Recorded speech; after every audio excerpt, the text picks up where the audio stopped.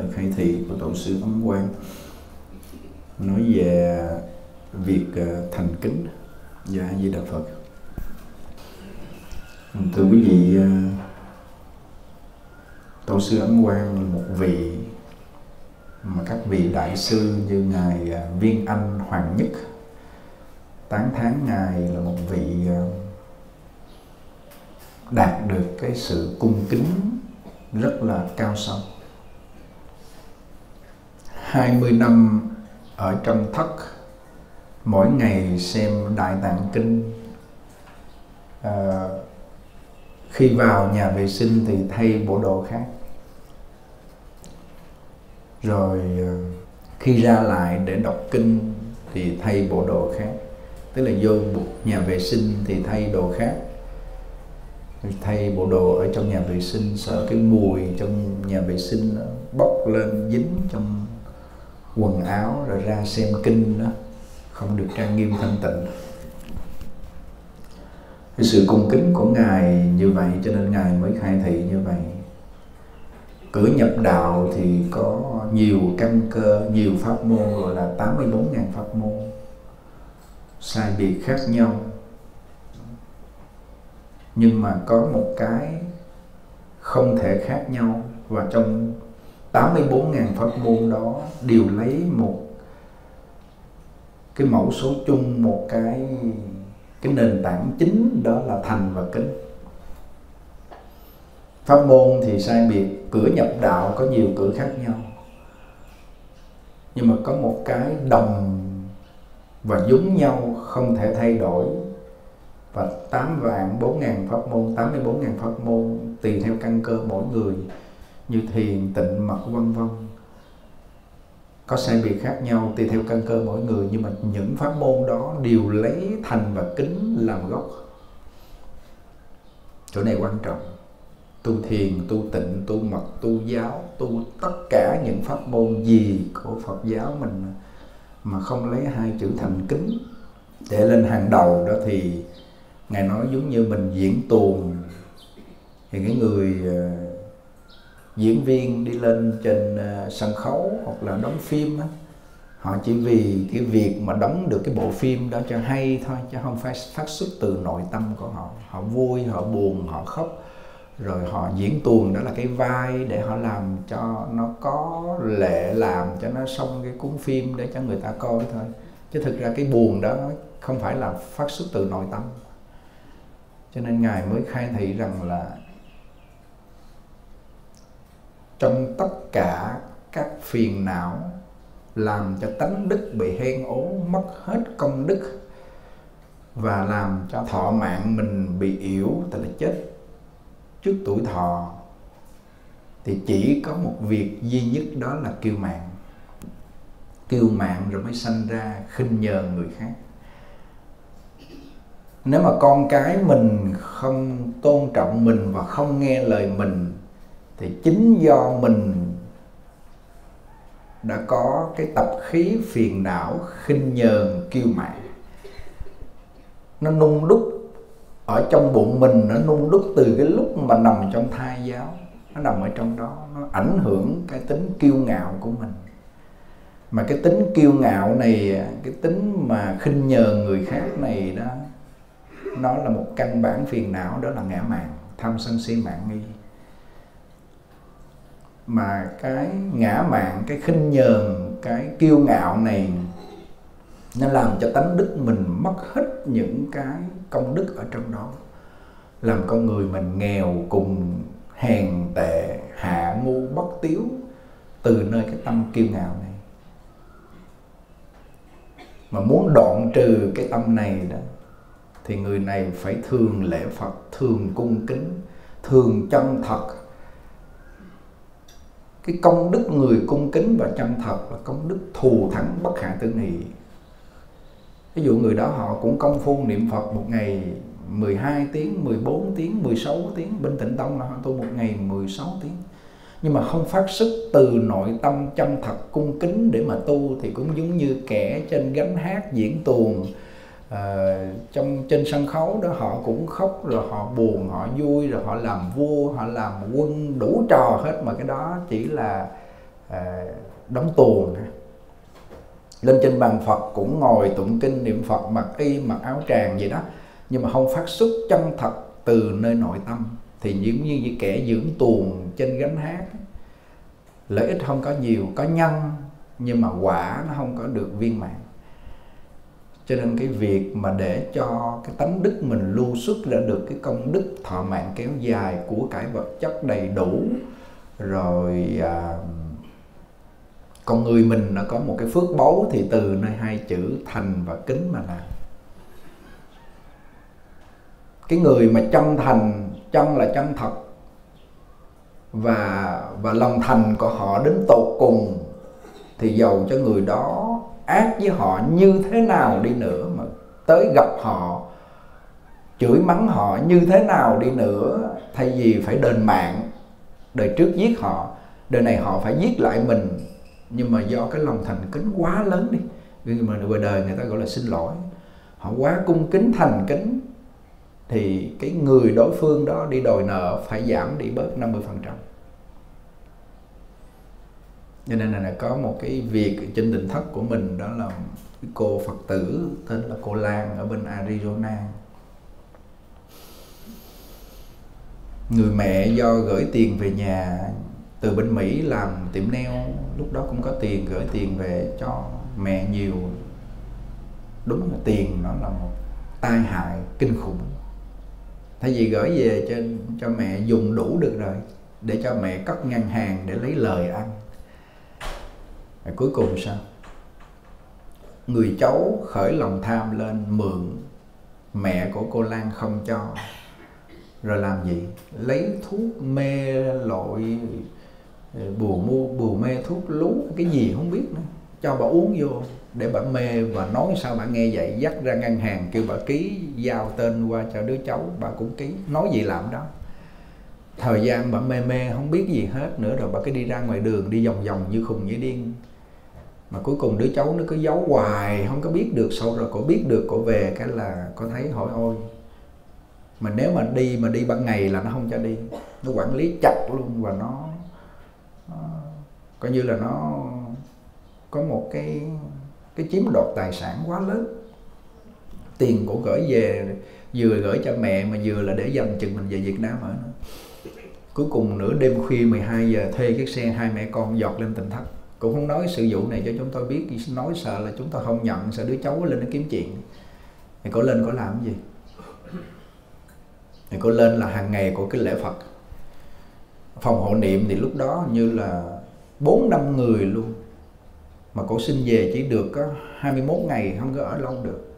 Thì còn nếu mà qua 21 ngày thì vé là phải đổi lại, rồi không ai coi tiệm nail. Cổ là chủ tiệm nail bên Mỹ, bên Arizona sau đó rồi cô tha thiết của lễ Phật của cầu Phật. Một là cho mẹ của cổ tỉnh táo trở lại, được ở tỉnh thất, còn hai mẹ cổ về với Phật. Lúc này bà bà bà cụ thì nằm một chỗ, rồi cứ lấy cơm bỏ vô trong miệng, nhai nhai nhai nhai, rồi nuốt xuống. Nằm chỉ cười, nhìn lên trên mái nhà, không không có biết cái gì nữa trơn. Thì thì phụ thuộc nơi người con, công đức nơi người con mà của lễ Phật. Kinh khủng lắm cứ đến buổi trưa đói thiệt đói thì gì 11 giờ 11 rưỡi mình canh đến giờ mình ăn không cô lễ chừng nào mệt, người ta dùng gần hết rồi, chưa đóng cửa nhà bếp là cô ra, cô dùng xong, cô vô cô nằm chút xíu, giật mình, thức dậy lễ. Lễ 11 12 giờ khuya mệt, nó leo lên giường nằm chút xíu. Nó vừa khỏe, vừa mở mắt ra là xuống làm tiếp. Cứ như vậy mà lễ Phật suốt như vậy là hai tuần. Thì hai tuần lễ bà cụ ra đi thì cái nghiệp của bà cụ với đứa cháu đó là oan gia trái chủ nhiều đời, hôm nay gặp nhau để trả. Nhưng mà bà trả quá nặng đi.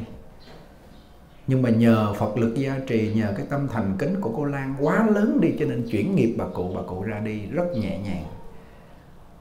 Thì đứa cháu nó nó nghe như vậy, bà chết cái là nó đi lên.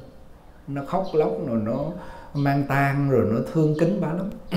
Thì cô Lan cũng đâu dám nói gì nó đâu lên nó khóc lóc như vậy thì nó, lúc cổ gửi tiền về cho nó để nó đào cho một cái huyệt, nó xây sẵn cái huyệt. Thì bà nói, nó nói lúc bình thường người ta xây cái huyệt ít nhất cũng phải 2 mét chiều dài, chiều ngang nó cũng sáu bảy mươi nó kêu bà chắc già chết, nó nó teo lại cho nên thôi làm mét rưỡi thôi. Nó làm cái huyệt có mét rưỡi à. Nó kêu chết rồi, teo lại làm chi cho lớn tốn tiền. Mà tiền cổ gửi về quá chừng nhiều. Thì cái lúc mà mà mất thì liệm thì thì nó về với đó xong nó tên nó thăm xong nó về, nó kêu cái huyệt nhỏ lắm. Cái lúc mà bà mất thấy, bà già nó teo lại cho nên thành ra mua cái hòm mét rưỡi để liệm mà xuống ở dưới đó đâu có hòm nào chiều dài mét rưỡi đâu. Rồi cuối cùng phải đặt ở dưới ngay chỗ ờ, đức trọng, đó là cái hòm mét rưỡi để bỏ bà vô, bà nằm ở cong cái chân vậy.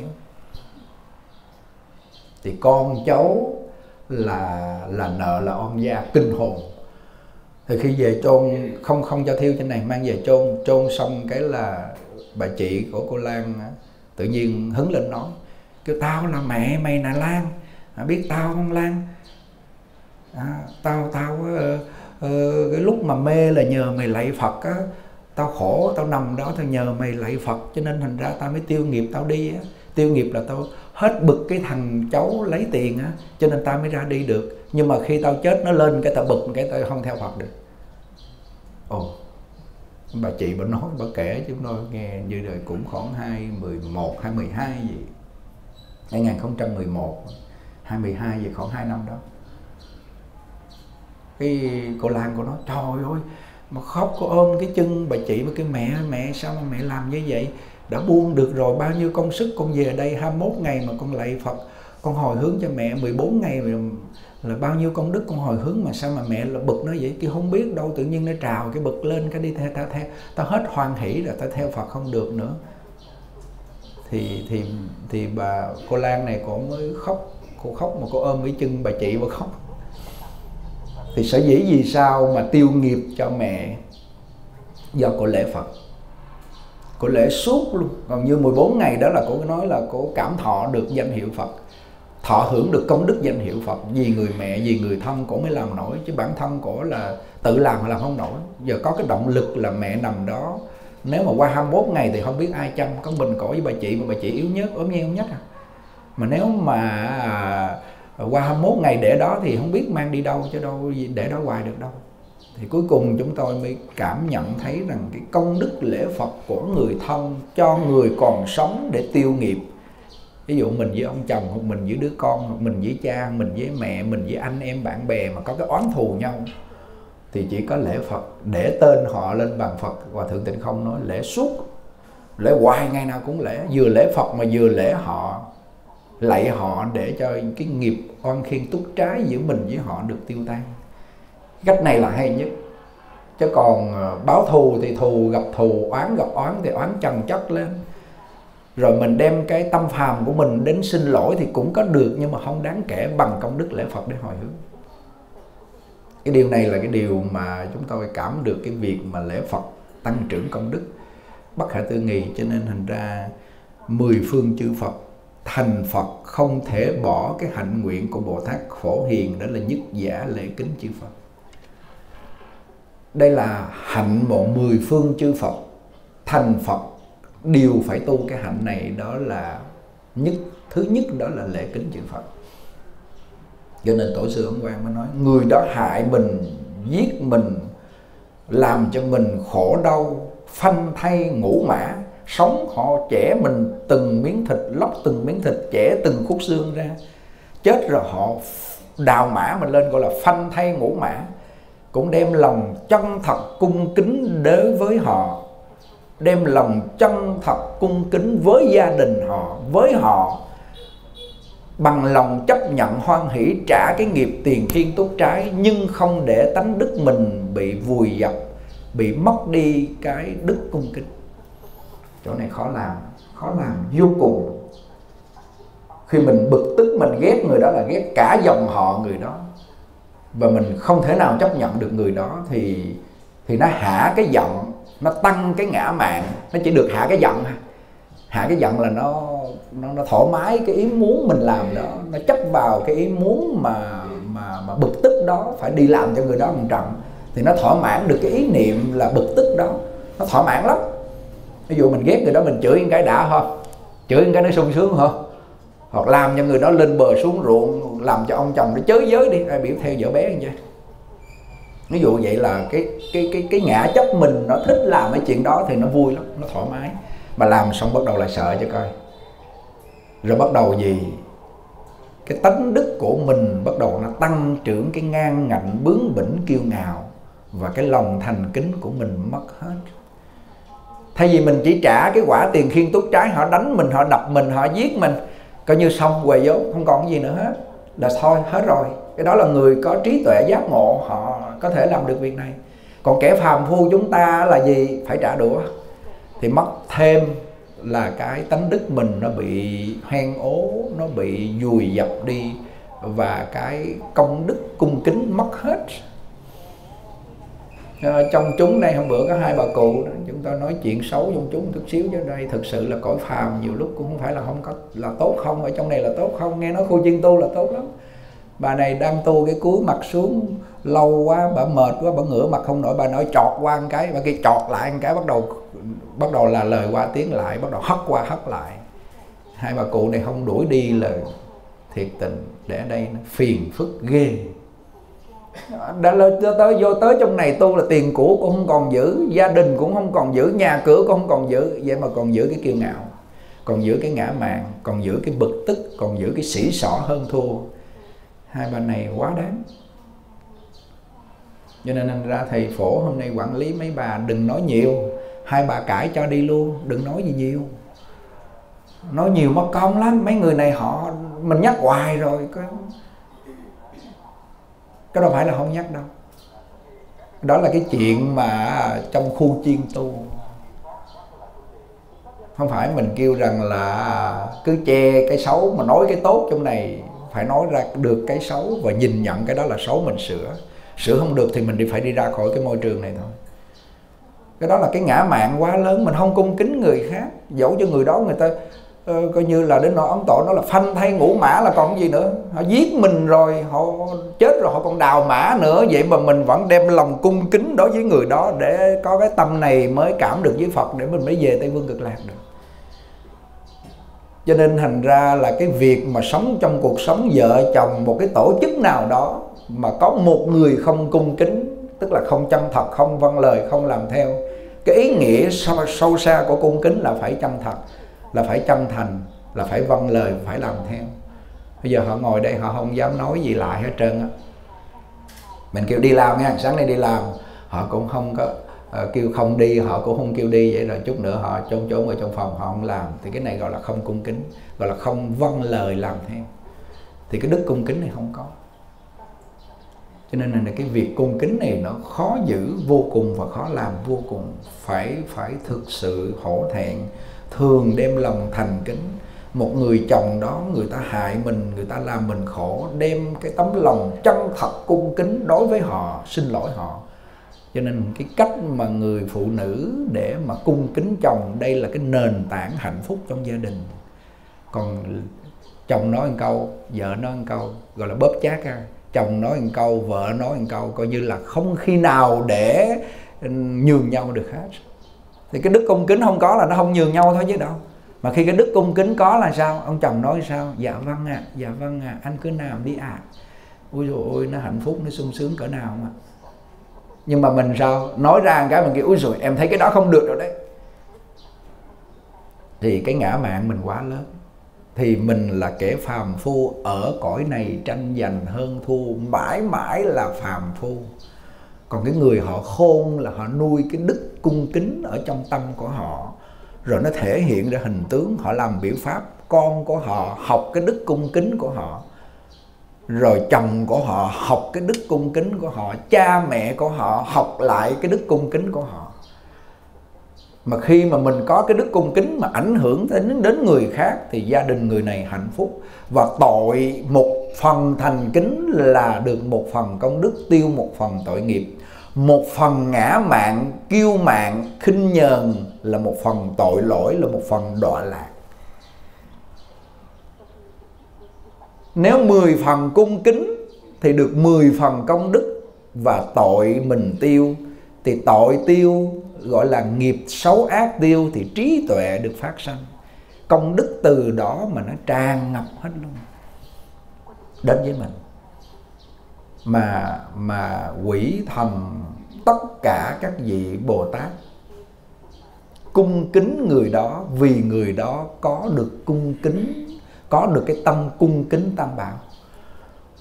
Các vị quỷ thần, các vị bồ tát, các vị phật đều cung kính tam bảo.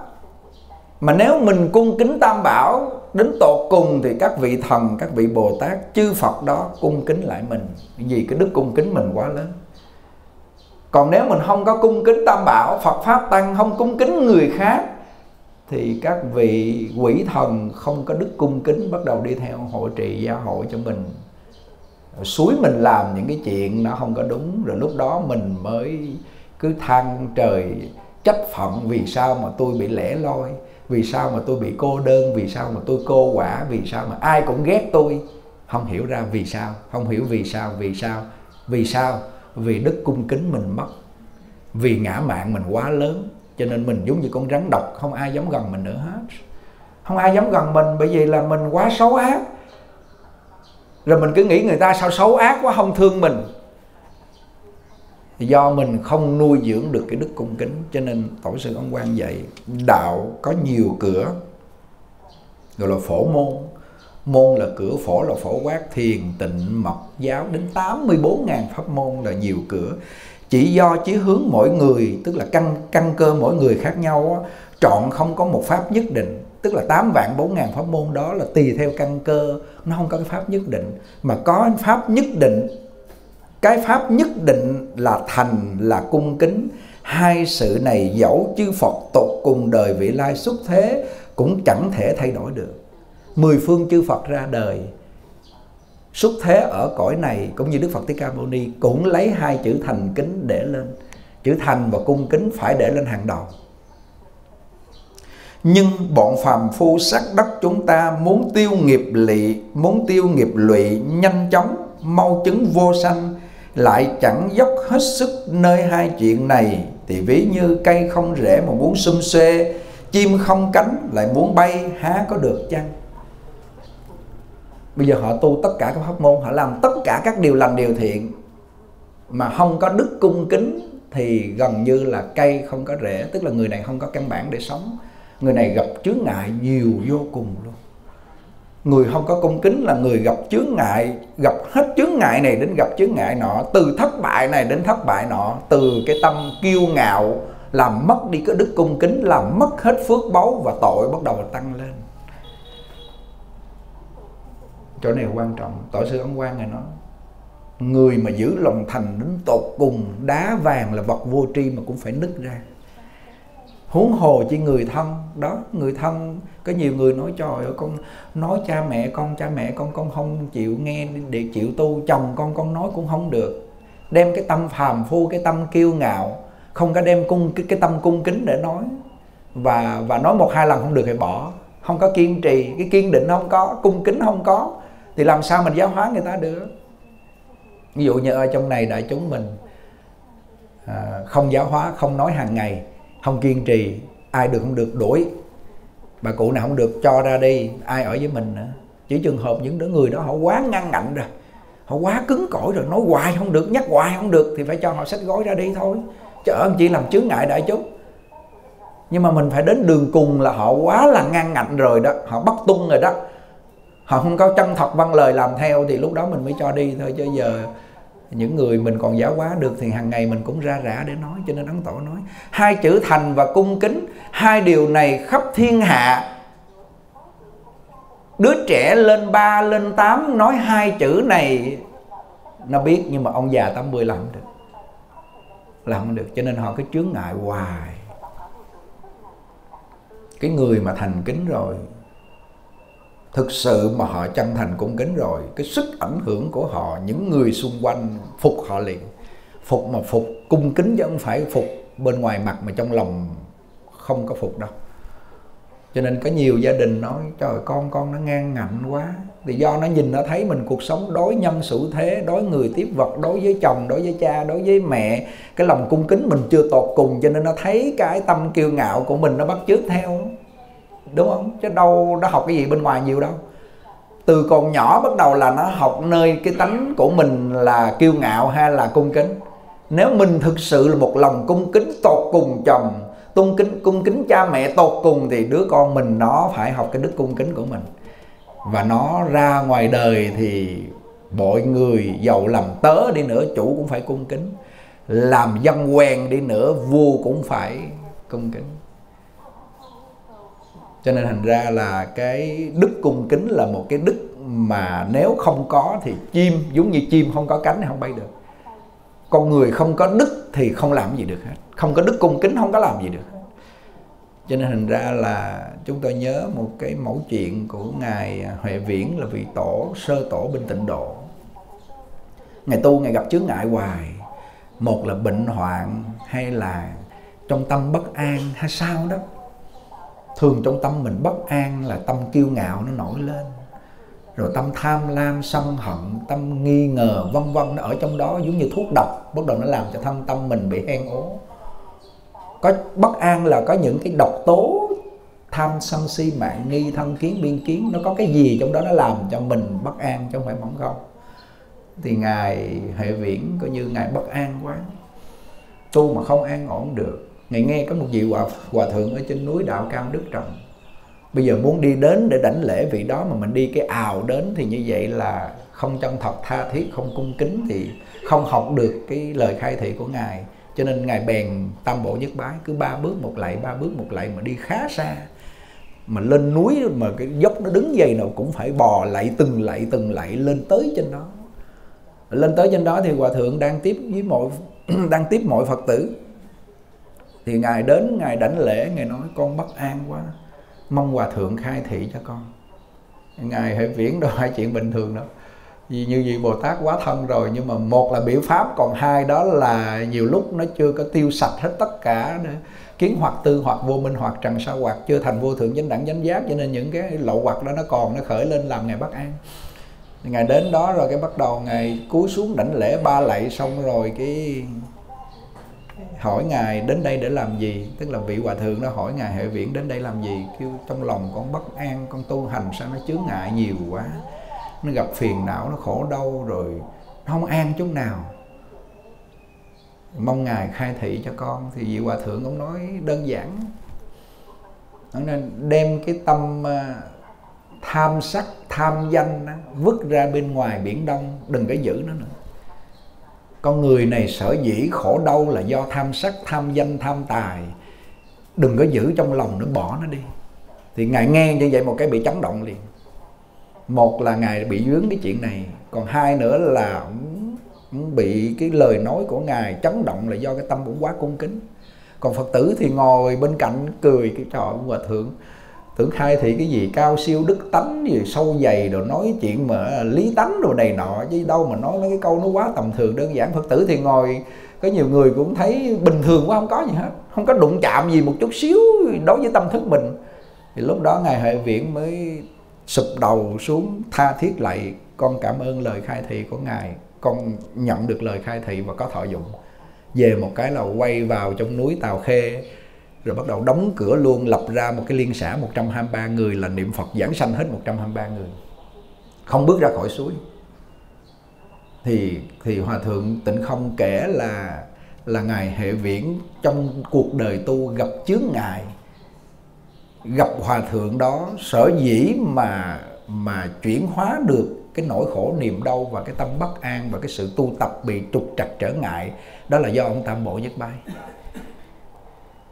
thời bây giờ họ cầu pháp, họ đến không phải là giống như là ngài hệ viễn, không phải giống như ngài hư văn đệ tử hòa thượng tiên hóa có một vị người mỹ nghe cái đức cung kính của của hòa thượng tiên hóa mà ngài chỉ nói tiếng tàu mà dịch ra tiếng mỹ. Mà cái người đó từ tiểu bang này qua tiểu bang kia phải đi hết mấy tháng ngày đường lạy tam bộ nhất bái vừa tới nơi gặp hòa thượng tiến hóa. Và thượng tiến hóa khoai thị và vị đó đi xuất gia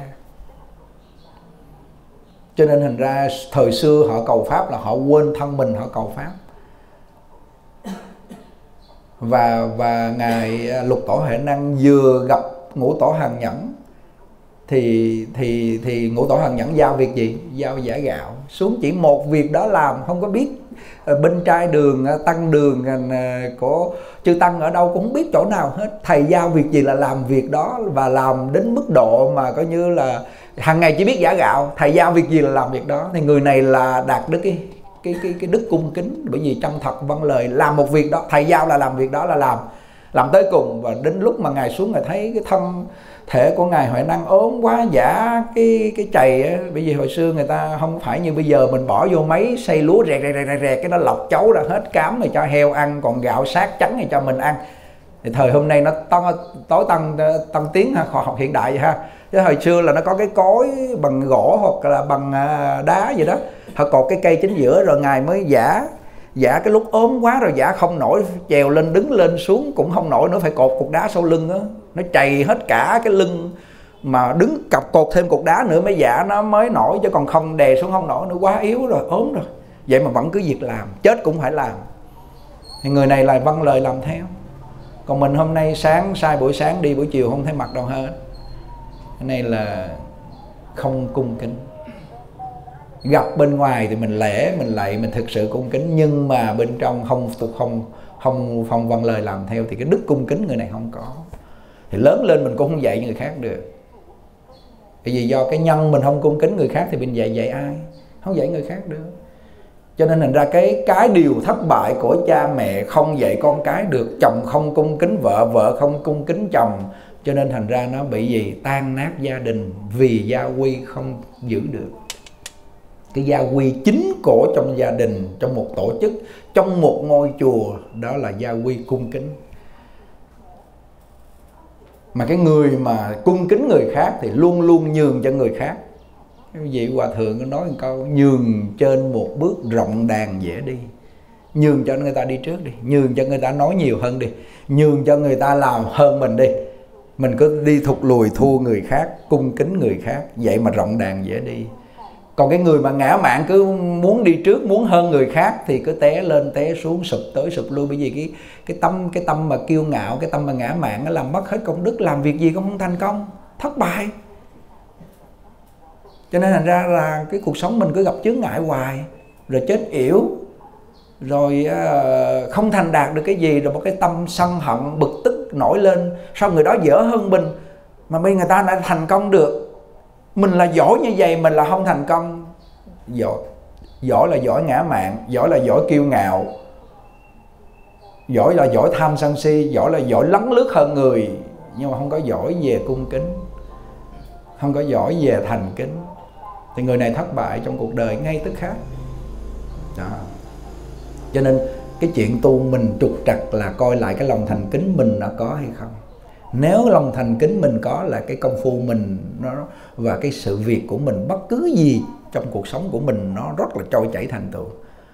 Còn nếu mà công việc của mình trục trặc, bệnh hoạn, vân vân, tất tần tật mọi thứ xảy ra đối với mình, từ cho đến cái việc làm ăn, rồi thọ mạng, rồi bệnh hoạn, vân vân, đều là tâm kiêu ngạo khởi lên, làm mất đi hết cái công đức ở trong tâm nên quý vị cứ để ý. Thường những người kiêu ngạo, họ nói ra một cái là thấy họ ngã mạng ồ, cái chuyện này dễ ẹt làm tôi làm được ngay mà chuyện đó ăn thua gì đâu, dễ ổn mà. Ngu quá, như đó mà làm không được. Hầu như là nói ra là nghe cái tập khí kiêu ngạo. Chết ngay, người này chết ngay. Kiêu ngạo giống như là cái gì? Cái răng nó cứng thì nó rụng. Ngã mạng giống như cái răng cứng là nó rụng. Còn cái tâm khiêm nhường, cung kính khiêm hạ như cái lưỡi nó mềm nó con răng rụng sạch hết nhớ bà cụ. Sư cô liên phương cái lúc bà ăn cơm muốn muốn muốn, muốn, muốn trời không còn một cái răng luôn ăn lợi không? Đúng không? Răng cứng rụng lưỡi nó còn. Ờ, cái, cái cái cái ví dụ biểu tượng này rất hay. Cái gì mềm nhẹ rồi à, êm ả nhẹ nhàng. Thì cái người này tồn tại. Còn cái người mà cứng cỏi ta đây ngã mạng hơn người. Tâm này trở ngại, thất bại và chết trước tuổi thọ. Khi chết rồi, cái tâm họ sân hận, bực tức, kiêu ngạo. Nhìn hình tướng của họ, kinh hồn le lưỡi trợn mắt. Máu tai nó chảy nó chảy máu tai ra, coi như nó quá bực tức.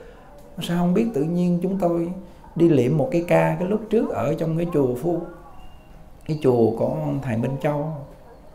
Lúc đó là chưa sâu về pháp môn tịnh độ khoảng 19 16 97 gì đó chưa đến năm 2000 ở trong đó cái là thầy cũng chính là Phật tử mời đi cúng ờ, 49 ngày rồi liệm liệm rồi này nọ đồ đi đám á, thì người ta mới cúng cho ăn chứ còn không có mở cái pháp hội Phật tử đến tu thì chỉ có rằm 30 đến leo que không mấy chục người không có đông.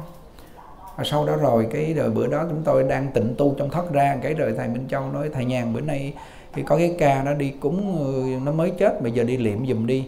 Bà chị nó chết rồi xong cái về rồi bắt đầu không biết làm sao cái trùng tan hay sao đó rồi ừ, nó uống thuốc sâu nó cũng chết rồi. Vì nó uống rượu hơi xỉn xỉn sơ sơ về cái nó, nó, nó uống thuốc sâu nó chết rồi.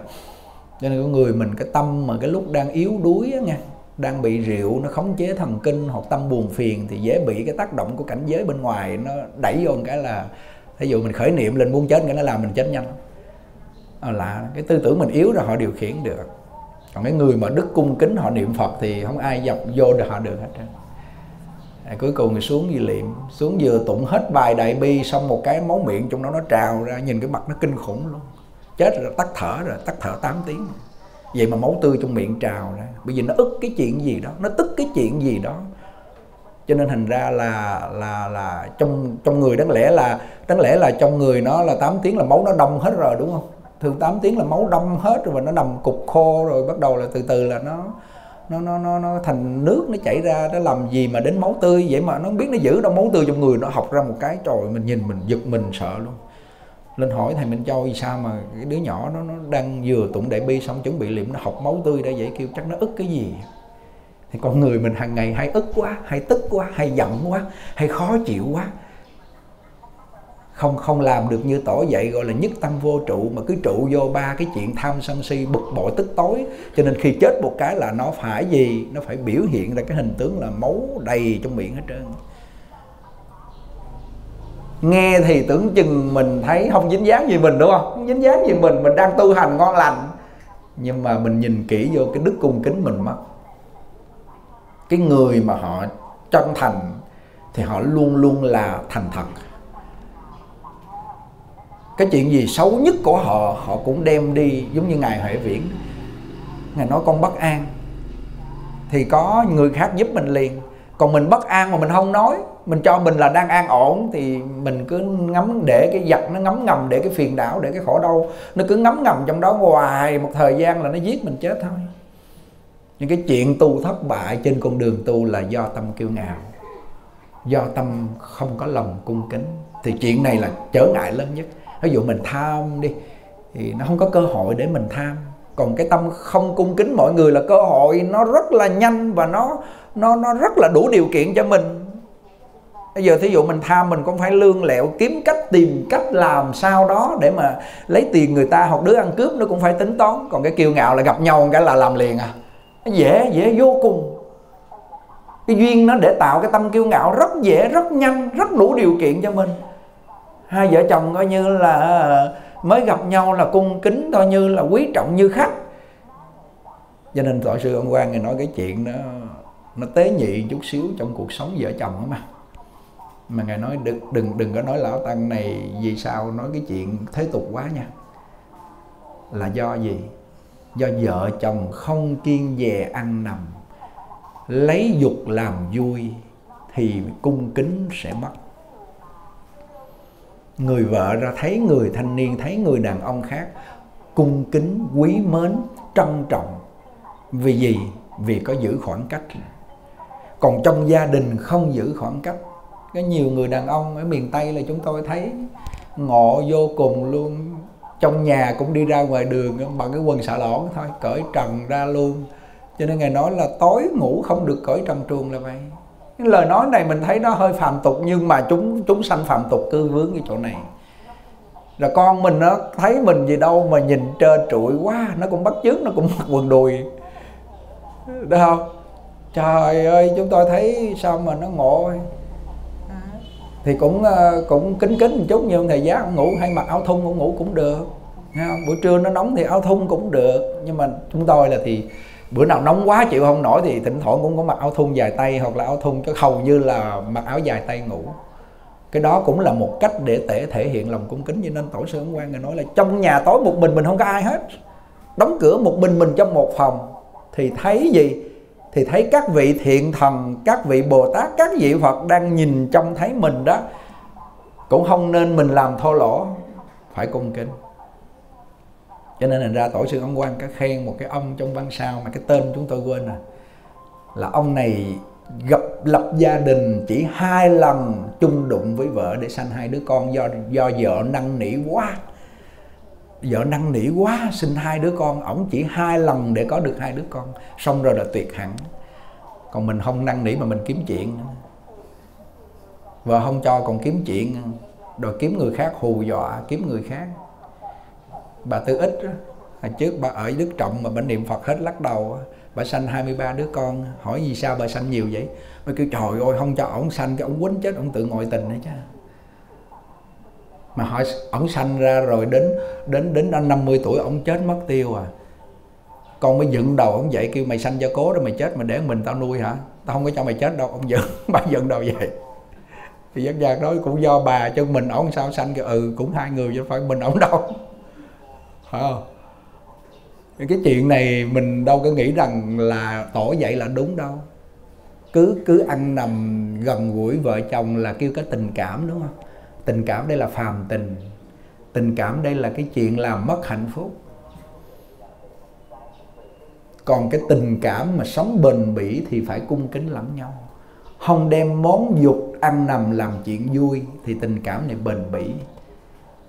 Ừ, Tỏ vậy rồi mình làm không đúng như vậy cho nên mình bị thất bại. Đúng không? Đó, như dù quý phật tử đi vô làm râu thấy chúng tôi, thiệt là quý kính bởi vì có khoảng cách thời gian xa cách, không gian xa cách, ít gặp được. Trời ơi, mấy nay thầy tắt điện thoại, không biết thầy đi đâu, gọi số 74 hoặc gọi chú cảnh gặp. Trời ơi, quý thầy quá, giao cho mình nói điện thoại hoặc ở thời gian gần gần thì dúng chồng dúng má cho coi. Nói cái tâm con người mình nó kinh lắm. Ồ nó kinh khủng lắm. Mình không thể lượng nó được. Thì chứng A-la-hán rồi thì tin mình. Tham sân si mạng nghi không còn. Thân kiến, bên kiến tà kiến kiến thủ kiến, giới cấm thủ kiến là không còn. Mình chủ động được. Cái chuyện là vọng tưởng điên đảo là nó không còn nữa. Mình là mình rồi đó. Thì lúc đó mình tin mình. Còn chưa chứng a la hán thì không nên tin mình. Phải tin lời phật dạy. Tin nhân quả. Tin câu phật hiệu. Tin người đi trước, người ta hướng dẫn mình. Còn tin mình thì coi chừng lên bờ xuống ruộng bây giờ tin mình là tin phiền não, khổ đau. Tin những cái tâm ngông ngông nghênh nghênh, cao ngạo không. Tin tham sân si không. Nghĩ là mình, cuối cùng mình bị sụp hầm sụp hố thôi. Đúng không? Cho nên thành ra, ngài dạy là một pháp niệm phật thật là pháp giản dị nhất, dễ dàng nhất, rộng nhất, lớn nhất, nhưng phải khẩn thiết, chí thành đến cùng cực mới có thể cảm ứng đạo giao. Được lợi ích thật sự ngay trong đời này. Nếu biến trẻ lười nhát không mảy may kinh sợ, dẫu gieo được viễn nhân, nhưng cái tội khinh nhờn khó thể tưởng tượng nổi, dẫu cho được làm người sanh lên trời chọn khó thể dự vào hải hội liên trì bữa ngày nói cái đạo cảm ứng mà cung kính hay lắm, giống như cái chuông quýnh quýnh nhẹ thì kêu nhỏ, mà quýnh lớn thì kêu to, quýnh mạnh thì kêu to. Sức cảm ứng nhỏ nhoi thì thức sức cung kính nhỏ nhoi thì cảm ứng nhỏ. Sức cung kính cùng cực giống như là cái chuông đánh mạnh thì nó kêu to. Thì sức cảm ứng lớn. Bởi vì sao mình niệm phật mà mình chưa thấy phật? Mong thấy mà tâm không có thanh tịnh, chưa nhất tâm thì gặp ma cảnh, nói chuyện đó không nói rồi. Mà mình mình niệm phật mà mình mình để tâm tự nhiên mà chưa thấy, đó là cái sức cung kính chưa đủ. Cho nên thành ra trong tất cả chư vị bồ tát, chư vị phật mà cái tần số để mình bắt được, mình cảm được thì chỉ có hai chữ thành và kính. Còn tu pháp môn thì tùy theo mỗi người, mỗi căn cơ, sai biệt khác nhau. Nhưng cái chung không sai biệt đó là cung kính, đó là thành, là kính. Cho nên ra có một vị lên trên núi gặp ngài, hỏi ngài, có cái cách nào mà nhập vào đạo nhanh nhất không? Con đường tắt để mà đi nhanh không? Hỏi pháp môn nào? Hỏi là à, à, con đường nào để nhập vào đạo nhanh nhất? Thì ngài nói chỉ có hai việc thành và kính. Không biết ông tu pháp môn gì. Chỉ có hai việc thành và kính. Hai điều này nên bảo ban cho nhau. Nếu làm được thì nhập đạo nhanh vô cùng. Còn nếu làm không được hai điều này thì vô giống như là dạo cởi ngựa xem hoa cởi ngựa xem đèn. Không ăn thua không không không thành tựu. Và cung kính đến cùng cực thì không những lên trên chánh điện không những là uh, mình à, đối với những người bậc thượng thượng mà ngay nơi cái chuyện mình ở một mình trong nhà cũng phải hết sức trân trọng cung kính từng hành động. Cho nên ra cái việc mà để thành tựu được một cái chí nguyện giảng sanh niệm phật mà không có cái lòng thành cùng cực cung kính cùng cực thì công đức nó rất là nhỏ nhoi chỉ gieo được cái viễn nhân thôi. Ngài nói là nếu người đó mà đọc kinh mà thấy phật tổ đang trước mặt truyền pháp âm, ban pháp âm. Và như người có hiếu cùng cực đối với cha mẹ khi mất mà đọc di chúc, thì người này có thọ dụng như trong kinh nói. Trong kinh nói là công đức làm sao làm sao, người đã thọ nhận được hết. Nhưng thời hôm nay, tăng tục, ý nói là người tu sĩ cũng như người phật tử, xem kinh sách giống như giấy mục bỏ chung với đồ đạc quần lót để trên đầu giường coi như không có một chút cung kính.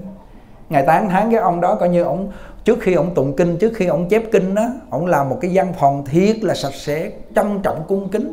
Và ông đem những cái loại hoa thơm ông trang trí trên đó. Rồi bắt đầu ông đem những trầm thơm ông xong, ông cúng dường pháp bảo.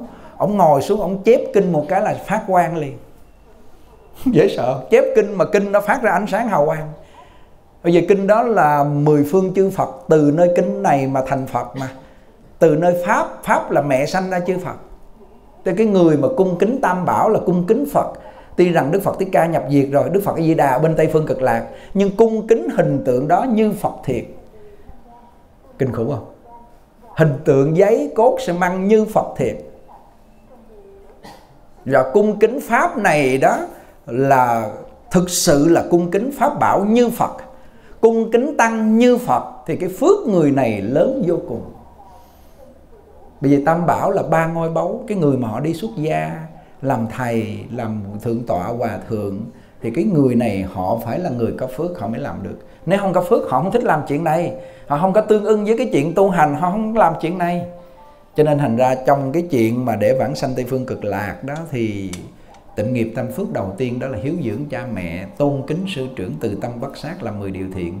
Người muốn vãng sanh mà bỏ tôn kính sư trưởng, mà sư trưởng ở đây là người thầy dạy mình, người thầy cho mình về nhập đạo và người có đạo đức.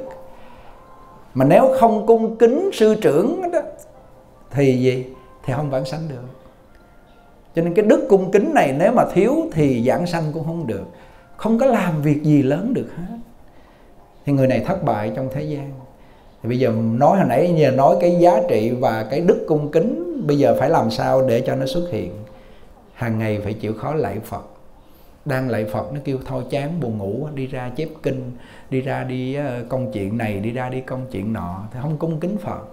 Cái quy chế nhà chùa quy định là hai thời công phu sáng tối, mỗi thời hai tiếng. Tu nửa chừng, ví dụ mình đau bụng quá, đi cầu hoặc là mình có cái gì đó không ổn thì không nói, còn này không thích nữa, đi ra thì thì thì có xem Phật như là Phật thiệt không? Không có. Ô Phật giấy Phật xi măng Phật nhựa Phật gỗ có đáng cái gì đâu. Thôi không thích thì đi thôi. Ông Phật ông cũng ngồi im đâu có nói gì đâu. Thí dụ ông biết nói cái ê không được đi ra nghe chưa? Ê, không được à. Cái mình nói sao cái ừ thôi nể ông quá tôi ngồi chút á. Mà ông không có nói gì hết hoặc ông có nói gì hết trơn á. Thì tha hồ đi ra đúng không? Đúng không? Đó mà đi ra gặp ông thầy cái lũ lũ lũ lũ lũ lũ lũ gặp ông chủ trì chắc sáng ông cho quỳ quá thì sợ sợ chứ không phải cung kính. Cái tâm sợ nó khác hẳn với cung kính. Cung kính giàu cho người ta phải nói là gục tại chỗ người ta cũng tu. Có cháu ông, ông, ông thầy đồng trì nó lên nó bị ung thư vàm họng nó lạy xuống mà mà máu trong miệng cứ trào trào ra. Nó nói đây là do nghiệp ăn ăn tiết canh do nghiệp sát sanh. Bây giờ phải lạy phật một lạy là công đức vô lượng và vô lượng tội được tiêu lạy còn mình đang khỏe, không có trào máu trào gì hết trơn á. Nhưng mà cái gì? Chỉ trào cái ngán ra là nó bỏ đi. Hả? Hả? Coi lại coi. Tu cái kiểu mình thì đâu phải gọi là cung kính cùng cực đâu. Thì thua thua.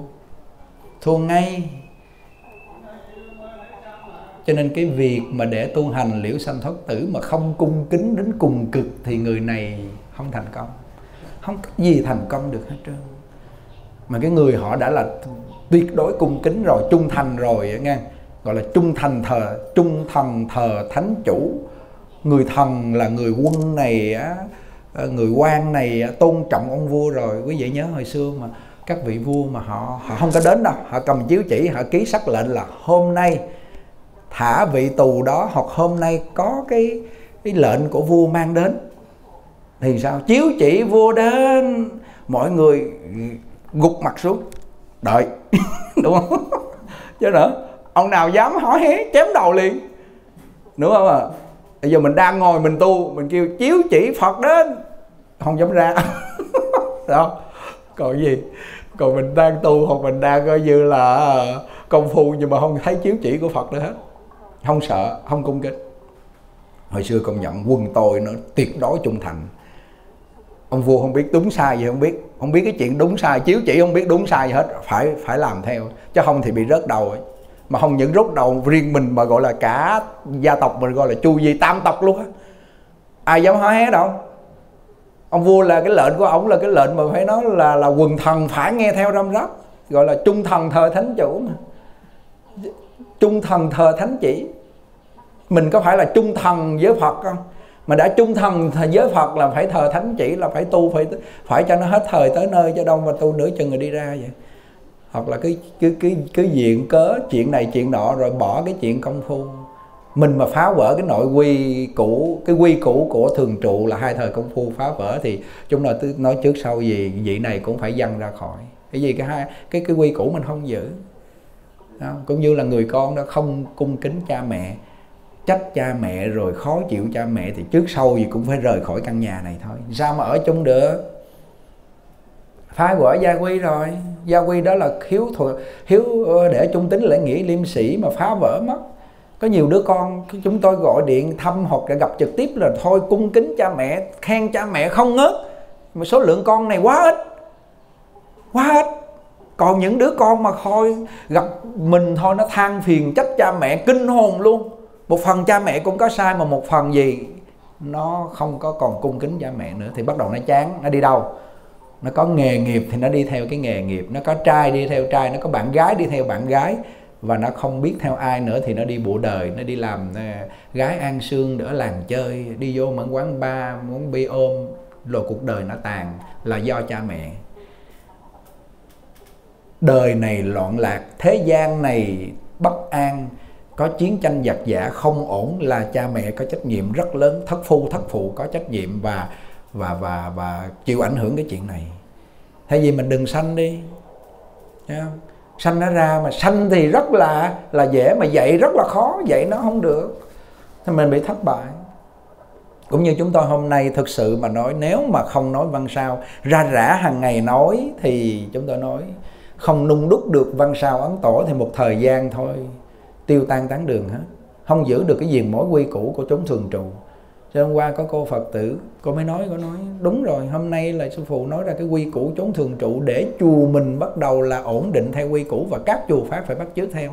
Cái bắt chước căn bản, cơ bản nhất là cái điện thoại. Thời buổi hôm nay làm gì có tiền mà để mà nộp cạc, nói điện thoại miết. Mà để nó ở trong lòng mình là coi như là là giữ nó đó rồi thì thì thì cái sóng điện thoại nó làm mình mất hết năng lực trong cơ thể con người. Và không có chuyện gì nó cũng bới ra chuyện để nó gọi, nó nói cho nó nó thỏa mãn. Chết ngay. Đó. cho nên mấy vị thành đạt như hòa thượng tiên hóa, hòa thượng tịnh không ấn tổ đời nào mà ngài, các ngài đã xài đến điện thoại. Cho nên cái trí của ngài, trí nhớ của ngài tuyệt tốt luôn. Thấy không? Cho nên thành ra là cái việc mà những người đi trước họ làm mình làm theo, truyền hình thời sự thì ngài cũng không cho coi luôn. Thế sự thăng trầm quân mặt vắng thôi, thế sự bên ngoài nó như thế nào đi nữa thì mình cũng vậy. Không có cần phải hỏi gì nhiều hết. Tại vì nó là như vậy mà. Ừ. cho nên là ra cái việc hôm nay chúng tôi nói đến cái việc thành kính thì có rất nhiều lời khai thị của tổ sư ân quang. Thì thì ờ, đợt sau chúng tôi sẽ tiếp tục nói về cái việc thành kính bây giờ thầy tánh sẽ đọc cái cái lời khai thị của ấn tổ nói về chuyện thành kính, cố gắng trân trọng cung kính lắng nghe. Nam mô bổn sư thích ca mâu ni phật. Nam mô a di đà phật.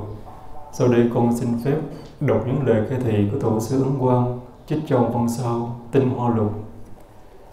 Tổ sư ấn quang khai thị về người niệm phật phải giữ lòng thành kính. Muốn được lợi ích thật sự nơi phật pháp thì phải thực hiện với 10 phần thành tâm, chỉ kinh và niệm phật về mặt sự tuy giống nhau. Nhưng lòng thành có sâu hay cằn phù phiếm hay thiết tha khác biệt. Cho nên lợi ích càng khác biệt lớn lao. Mọi chuyện trong thế gian đều phải do lòng thành để được thành tựu. Huống gì trì kinh, niệm phật, muốn dùng cái thân vọng phu để liễu sanh thoát tử, siêu lên cõi phật mà thiếu đồng thành há có được chăng? Trì tụng kinh chú, quý tại chí thành, dấu trọng chẳng biết nghĩa. Mà nếu có thể hết lòng thành cạn lòng kính, kiên thành khẩn thiết thôi trì thì lâu ngày chạy thắng, tự nhiên sẽ nghiệp tiêu, chí rằng. Chứng tận tâm minh, còn có thể thấu hiểu trực tiếp ý Phật huống gì những giải thích về mặt văn tự và ý nghĩa của chúng ơ. Nếu không, dẫu có thấu hiểu thông suốt, nhưng do chẳng chí thành, thì chỉ trở thành tình kiến phận phu dò đón số lượng mà thôi. Chứ không có cách nào đạt được lợi ích chân thực và sự cảm ứng chân thực của kinh. Do hoàn toàn là thức tâm, phân biệt suy lường thì làm sao có thể ngầm thông Phật trí thầm hợp diệu đạo? Hễ vừa vượt thoát liền chứng nhập trực tiếp một trong đạt được lợi ích thù thắng. Kinh dạy, thân người khó được, Phật pháp khó được nghe. Nếu không có những duyên kiếp xưa, thì danh hiệu Phật, kinh Phật còn chẳng được nghe. Huống là được thôi trì, độc tùng, tu nhân, chứng quả ơ những gì Đức Như Lai đã nói đều ý theo lý vốn sẵn có trong tâm chúng sanh. Ngoài tâm tánh chọn chẳng có một pháp nào để đạt được cả. Chỉ vì chúng sanh đam mê nên chẳng hiểu rõ. Trong chẳng như thật tướng bèn viễn sanh vọng tượng chấp trước. Do vậy khởi tham sân si, tạo giết trộm dâm, mê trí huệ nên thành phiền não. Ngay nơi thượng trụ bèn thành sinh diệt trái chừng điểm kiếp không thể thoát được. May mắn gặp được những kinh đại thừa. Hiển mật do đức như lai đã nói mới biết hạt châu vẫn y nguyên nơi chiếu áo, vật tánh vẫn tồn tại. Tự có mình là khách, là kẻ hạ tiện, nhưng vốn thật là con ông trưởng giả. Trời người xấu nẻo chẳng phải là chỗ ta ở thật báo tịch quan mới là quê nhà sẵn có. Nghĩ lại từ vô thủy đến bây giờ chưa nghe lời phật nên dù sẵn có tâm tính này, vô cớ bị luân hồi oan uổng. Thật là đáng đậu đến khóc than tấn riền tiếng rền cả đại thiên, tim từng biển xóa tạc, ruột từng tấc đất lìa. Ơn ấy, đức ấy, quá còn hơn trời đất cha mẹ gấp trăm ngàn vạn lần. Dấu nghiền thân, nát xương, há có thể bao đền được ư?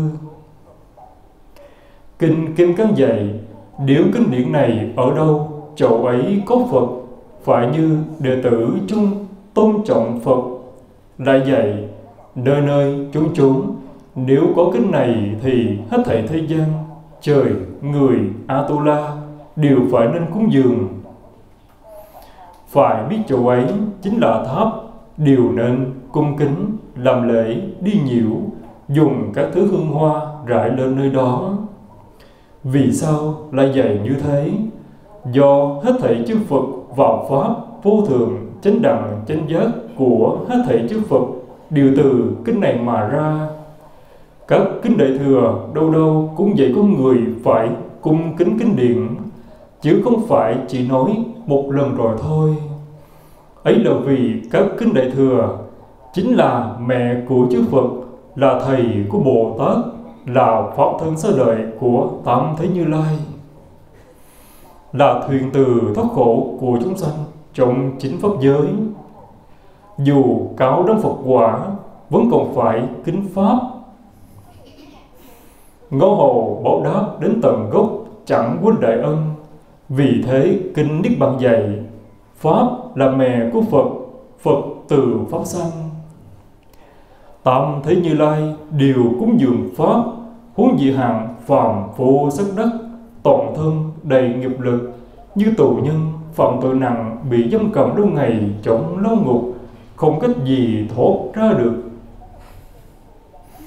May sao nhờ vào thiện các đời trước được xem kinh Phật như tù nhân được lệnh tha, mừng rỡ vô ngừng do vậy, bèn nương theo kinh pháp với chào tam giới mãi mãi, thoát khỏi lao ngục sinh tử vĩnh viễn, đích thân chứng tâm thân.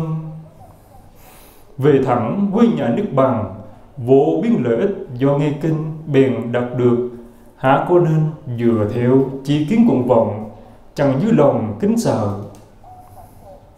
Giống như nhà nho đọc sách trong cổ tục buông tuồng khinh nhận ư và đó thì đến đây là kết thúc rồi. A Di Đà Phật. Không biết quý huynh đệ nghe những lời khai thị của tổ sư Ấn Quang như thế nào. Riêng chúng tôi thì tâm huyết cái bộ văn sao cho nên bỏ cái số tiền khá nhiều. Tính là 7 8 tỷ tiền Việt Nam. Số lượng nhiều, in mà tặng chứ không phải mình in ra để mình à, lấy lại vốn đó là cái tâm huyết của chúng tôi để trong cái bộ kinh này rất lớn. Khi mà mình có tâm huyết vào cái việc gì thì mình đầu tư tiền bạc, tâm tư, tài sản, thân mạng mình dồn vô trong đó. Ví dụ mình thích cái bàn phật là mình trang trí cái bàn phật trang nghiêm, lộng lẫy, để một cái tivi cho nó sáng mặc áo tràng lên thiệt trang nghiêm. Đây là cái nơi để mình nuôi dưỡng tâm hồn. Cũng một số người họ không có điều kiện, không có thời gian, họ vừa làm rửa chén vừa nghe pháp thì cũng được, nhưng mà khác hẳn khác hẳn quý vị tu một thời xong giống như đại chúng. Một là dùng cơm trước, còn mình không dùng quen cơm trước thì có thể mình nghe một thời thiết pháp rồi mình ăn cơm. Mặc áo tràng ngồi trên ghế, trang nghiêm nghe một tiếng đồng hồ, thiệt là thành kính. Thầy tánh đọc văn sao ấn tổ, mình coi như là trung thần thờ thánh chỉ thánh chỉ của phật. Thì cái công đức này quý vị nuôi dưỡng khoảng 3 tháng đến 3 năm là thấy khác người siêu quần bạc tụy liền. Điều này chắc chắn là như vậy. Kinh phật là mẹ của mười phương chư phật chư phật từ pháp mà sanh mà. Mình cung kính như trung thần thờ thánh chỉ thì công đức này tự mình hưởng được thôi. Đâu có làm gì ờ, khó khăn mà tốn kém nhiều đâu. Không cần làm tốn kém nhiều. Ừ nhưng Tổ ông Quang Ngài nói là thường nói với mọi người là muốn được lợi ích thật sự nơi Phật Pháp thì phải hướng về cung kính mà cầu. Có một phần cung kính thì tiêu tội nghiệp một phần, tăng phước huệ một phần. Có 10 phần cung kính thì tiêu tội nghiệp 10 phần, tăng phước huệ 10 phần. Nếu không cung kính đến nỗi thành khinh nhờn thì tội nghiệp càng tăng phước huệ e càng giảm than ôi hễ gặp bạn tri giao hãy nên ra rã đem lời này bảo ban cho họ biết không còn pháp thí nào lớn lao hơn được đâu. Nếu mình đem tam tạng kinh điển mình đem pháp thí gì gì gì mình cúng dường đi nữa thì cũng có công đức. Nhưng mà không cho họ cái thành kính thì phước báu đó pháp thí đó không bằng hai chữ thành kính. Bởi vì họ xem kinh như giấy mục giấy rác giấy cũ đâu có cái chút chút ít gì lợi ích đâu. À, cho nên thành ra hôm nay chúng ta nói cái chuyện thành kính đại chúng hết sức lưu tâm mà không những thành kính với Phật trong cái tâm bảo ở trong phòng thờ, mà ra mọi người xem tất cả chúng sanh đều là có Phật tánh hết, cung kính họ. Đứa nhỏ cũng cung kính nó luôn. Ăn xin, ăn mày, ăn cướp, ăn trộm, ai cũng có Phật tánh trong đó. Cung kính là cung kính Phật tánh họ. Nhìn thấu được họ có Phật tánh, mình có Phật tánh để nuôi dưỡng cái tâm cung kính của mình và tâm tâm cung kính để mình thành Phật thì không nên chê chê trách chê bai ai hết. Còn bổn phận mình dạy học trò, mình dạy con cái thì mình phải tìm cách nào đó mình dạy cho nó thiệt khéo léo. Đó, cái cách đó là cái cách để mà pháp thí lớn lao nhất không có còn gì bằng. Đó là cái việc hôm nay chúng tôi chia sẻ với đại chúng. Còn cái việc hôm nay ở trên tỉnh thất là nghỉ được hai ngày rồi đại chúng ở dưới này đáng lẽ cũng phải nghỉ nghỉ hai ngày chung với các thầy, các chú trên tỉnh thất, nhưng hôm qua quý thầy cũng phải ra làm. Bởi vì mình không tranh thủ làm thì bỏ không miếng đất nó uổng với hai nữa mưa mình không làm được. Hơn hôm qua sao vừa bỏ phân nó sới lên cũng chưa xong, mưa một trận mưa quá trời lớn luôn để đất nó mềm, bữa nay sới ra. Bớt ruồi rồi nó nó coi như là các cụ ở trên tỉnh thất xuống làm giỏi hỏi bà cụ bao nhiêu tuổi? 76 tuổi.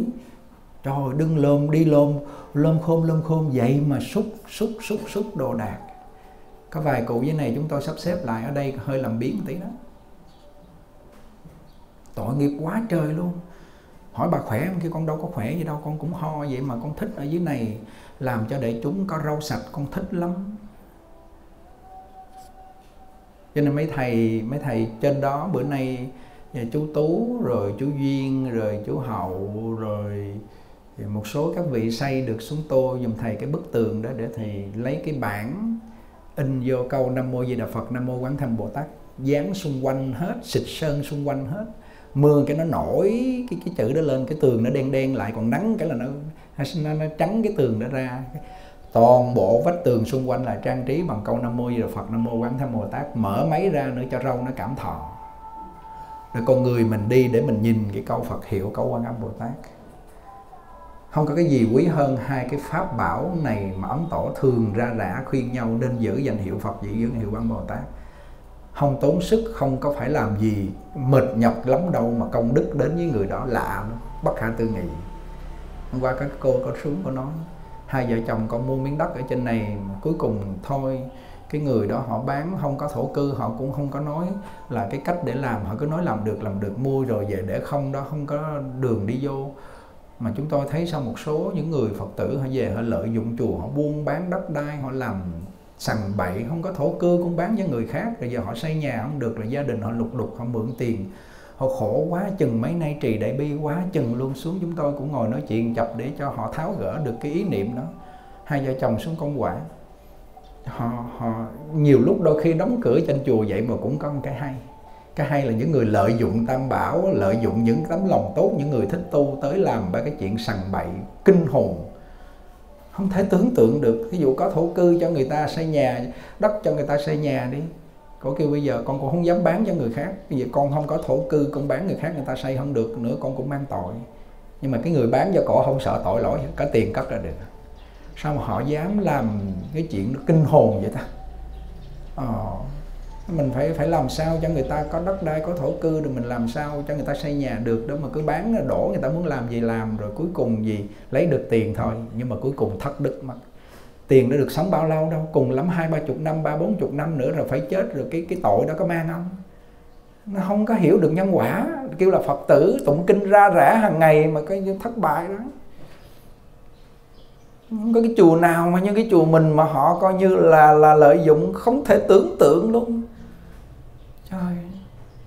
Cho nên là ra quý phật tử bây giờ đang nghe chúng tôi nói chuyện đây là phải hết sức thận trọng. Mua đất các nhà là phải có đất xây dựng, mới mua trong sổ có mấy trăm mét xây dựng là biết chỗ đó chuyện xây dựng. Còn mua trồng rau thì thôi khỏi. Mua trồng rau ăn thì thôi khỏi khỏi cần đất xây dựng. Mình phải tính chứ, còn không cứ nói người ta, tin người ta xong rồi cuối cùng cái là khổ. Hiểu không? cho nên phải phải phải hết sức thận trọng. Đó. thì cái việc mà mấy thầy trên đó hôm nay là chia ra hai ban đeo thẻ đàng hoàng nha. Chứ còn vài bữa nữa là mất mất mất, rớt rớt rớt đi đâu hết, rồi không có điểm danh mang cái cái danh sách thầy phiên. Hôm qua đeo thẻ cho các cụ dưới này xong hết rồi đó. Rồi ờ, bữa nay các cụ dưới này cũng phải chia ra để là công phu, ai công quả gì đó thầy phải lọc ra hết, chứ không ở không được đâu. Bệnh chết á rồi còn ở trên đó thì mấy thầy xuống phải có danh sách dưới này điểm danh coi thử coi chia người đã làm đàng hoàng. Chứ không không không không phải đơn giản. Cái vườn rau quá lớn mà đâu ai cũng không để mà ăn nữa đâu. Cũng phải làm chứ. Hồi trước giờ quý thầy, quý chú, quý cụ đâu khi nào nghe thầy nhắc chuyện này. Bây giờ đến cái con đường mà cùng rồi. Đường cùng đó là gì? Đó là kinh tế nó xuống dốc, nhiều gia đình coi như là phá sản. Vợ chồng ly tán hết trơn luôn mượn vay ngân hàng làm ăn, bây giờ xe cộ thì không cho chạy được.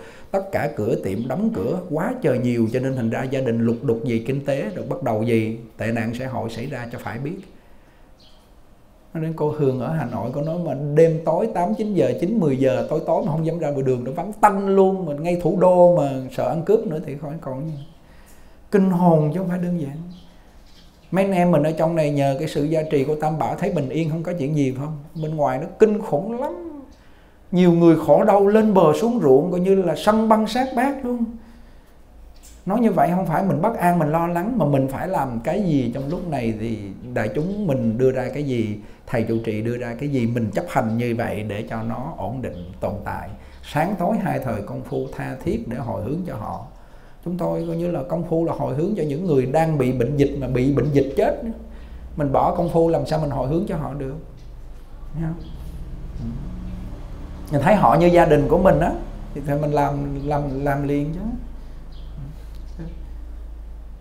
Thôi để chúng mình hồi ờ, ờ, ờ, hướng nghĩ nguyện đêm đem ờ, công đức này hướng về khắp tất cả đệ tử và chúng sanh đồng sanh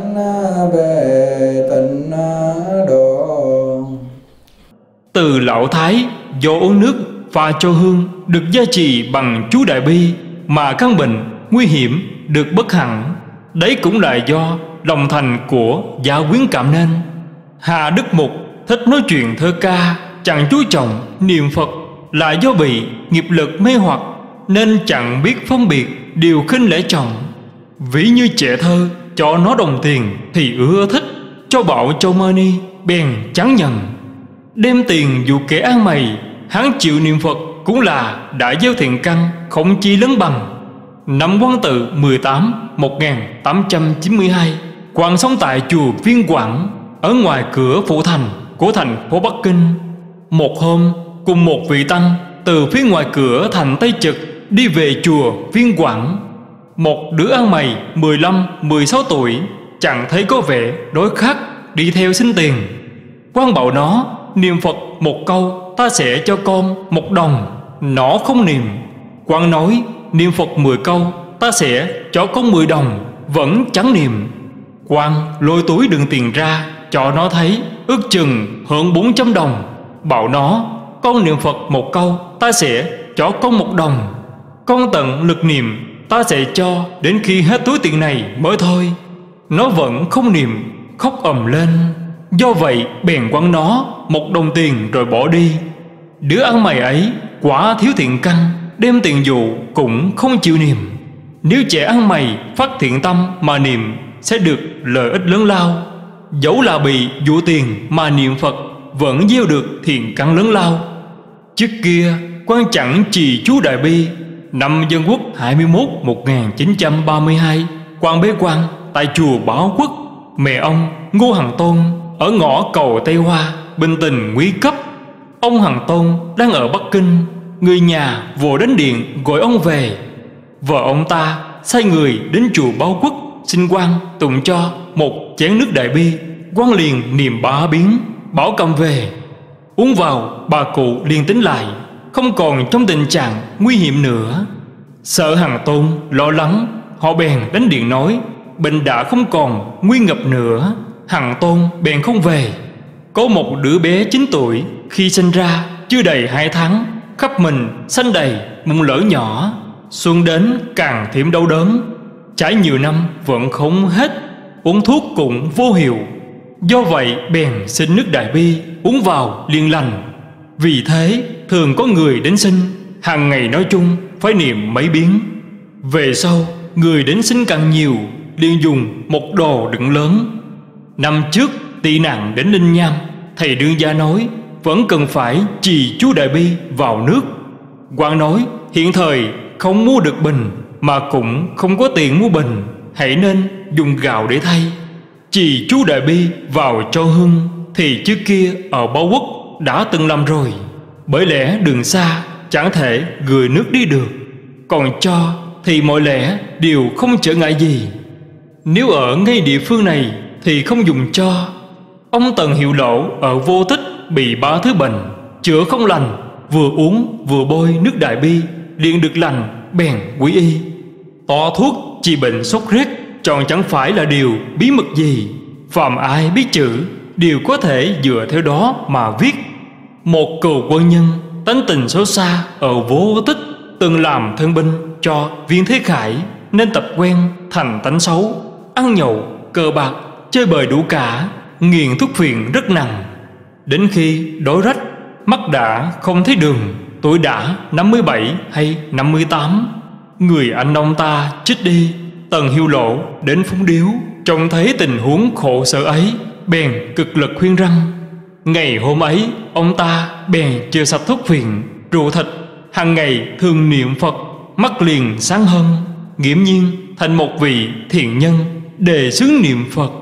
Trước kia người làng chẳng dám qua lại với ông ta. Sau này bệnh sốt rét bùng phát Ông ta chỉ cho từng người một đều được lành bệnh. Từ đấy người làng đều nghe theo. Trong tháng tư từng dẫn mười mấy người đến quy y. Nghiễm nhiên là một vị cư sĩ tu hành đã lâu. Người này họ Hoa tên Quán Thiện đã 64 tuổi. Như người này có thể gọi là dũng mạnh, sự ác, hướng lành. Trích dẫn văn sao tam biên. Lá thư số 430 Thư trả lời nữ cư sĩ Trương Giác Minh, Thư thứ 8 Nhận được thư hôm rằm, Biết bệnh của từ lão thái đã đỡ rất nhiều. Phạm người lâm chung, Thần thức hôn loạn. Nếu uống nước đại bi Hoặc nước pha từ cho hương đại bi Hay nước nấu từ gạo đại bi, Thần thức đều có thể sáng suốt. Nếu lại có người chờ niệm thì chắc chắn sẽ niệm Phật qua đời. Một, hai năm qua đã có ba người được như thế. Hôm 17 tôi đã gửi cho bà một bao cho hương Kể cả bao bì và to thuốc nặng bốn lần. Chia làm tám bức thư, gửi đi, chắc đã nhận được rồi. Chuyện niệm Phật ước về mặt được lợi ích ngay trong đời này Thì cần phải chí thành khẩn thiết thương niệm. Nếu chỉ để gieo thiện căn Dẫu đùa bẩn niệm một câu, Cũng nhất định sẽ trong đời sau. Nhờ vào thiền căn ấy, Phát khởi mà tu trì. Vì thế, cổ nhân dựng nhiều tháp miếu to lớn, Là vì muốn cho hết thảy mọi người trông thấy Đều gieo thiện căn. Một câu Phật hiệu này Đã gieo vào trong tám thức điền, Sẽ vĩnh cửu chẳng diệt. Lúc Đức Phật tại thế, Một cụ già muốn xuất gia đầu Phật Nằm trong vị thánh chúng quan sát, Thấy từ tám vạn kiếp đến nay, Ông cụ chọn chẳng có Một mấy mây thiện căn nào, Bèn cự tuyệt chẳng thâu nhận. Ông cụ liền gào khóc Ở phía ngoài kỳ viên. Phật cho gọi vào, Thuyết pháp cho ông cụ Cụ liền chứng đạo quả. Năm trăm vị thánh chúng, Đều chẳng hiểu được nguyên nhân, Hỏi Phật Phật dạy, Người này trong vô lượng kiếp trước Do bị hổ đuổi phải trèo lên cây, Niệm một câu, Nam mô Phật Gặp ta, bèn đắc đạo. Đạo nhãn của hàng thanh văn, các ông, Chẳng thể thấy được. Do vậy biết rằng, Chịu niệm Phật cố nhiên là tốt. Nếu người ta không chịu niệm, Hãy bảo người ấy Chịu nghe niệm Phật hiệu, Cũng gieo được thiện căn. Nghe lâu ngày, cũng có, Cũng đức lớn lao. Gần đây, ở vô tích, Người niệm Phật rất đông. Có một người biết nấu món chay, Hễ mở Phật thất đều gọi người ấy đến nấu. Người ấy hàng ngày nghe tiếng niệm Phật. Về sau, đứa con ông ta sắp chết, Liền nói, Con sắp chết, nhưng chẳng thể đến được chỗ tốt lành. Cha hãy cho con Phật của cha, Con sẽ đến được chỗ tốt lành.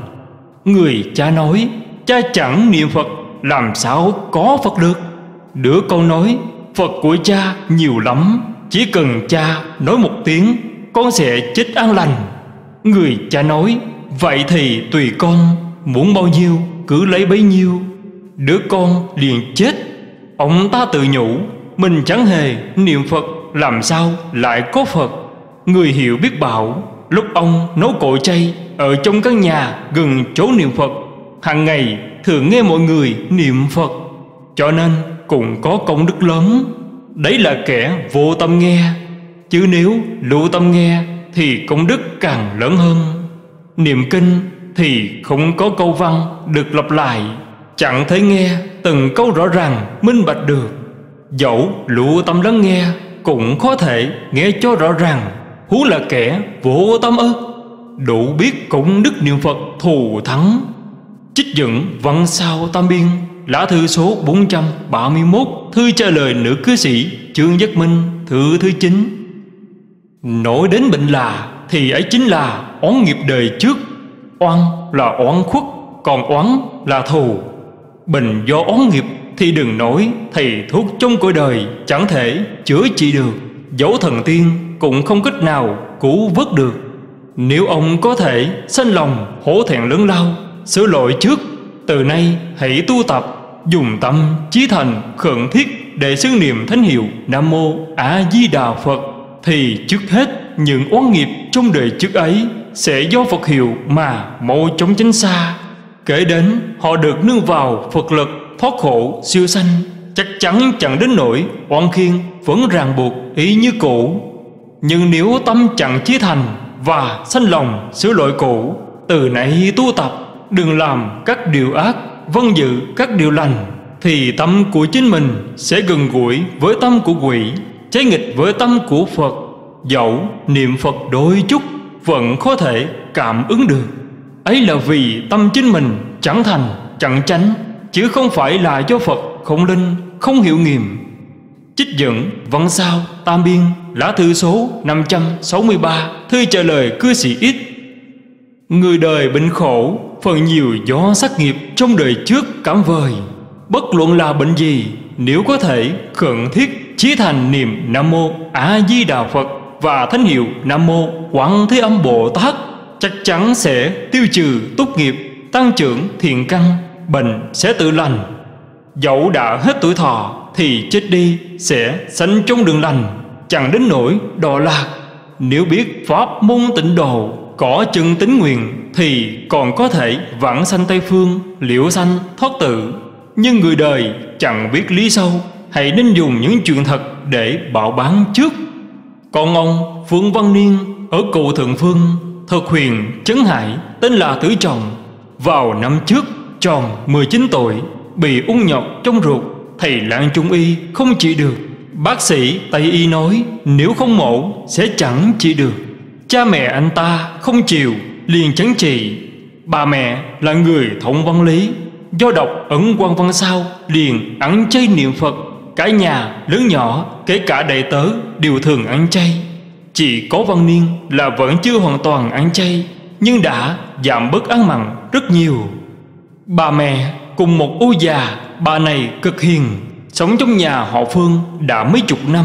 Con bà cũng khá giả có đứa cháu mời về nhà sống. Bà bảo, muốn cùng với bà chủ tu hành, Chẳng chịu trở về. Bà chủ cũng chẳng coi bà này như u già, Mà xem như bạn bè. Liều mạng niệm Phật, Niệm Quán Thế Âm Bồ Tát Và niệm Kinh Kim Cang. Ba ngày sau Khói u trong ruột tứ chồng, tự vỡ, Máu mụ theo đại tiền thoát hết ra ngoài. Năm ngày sau, hoàn toàn lành mạnh. Chí thành niệm Phật tụng kinh Tiêu trừ tốt nghiệp, Có chuyện như vậy đó. Người đời chỉ biết tạo nghiệp, Chẳng biết cách tiêu nghiệp, Đáng thương quá. Thêm nữa, Ông Từ Uy Như, Quê ở Hải Diêm, Do dụng công học rộng, Nên trong người bị ho tổn, Bị bệnh thoát gian đã hai năm mấy. Thường sau khi đại tiền Phải nằm một khắc Đợi cho nó từ rút lên Thì mới dám cử động. Tháng Giêng năm dân quốc thứ 8 1919 Sau khi đại tiện, Có chuyện cần thiết, Chẳng thể trì hoãn được.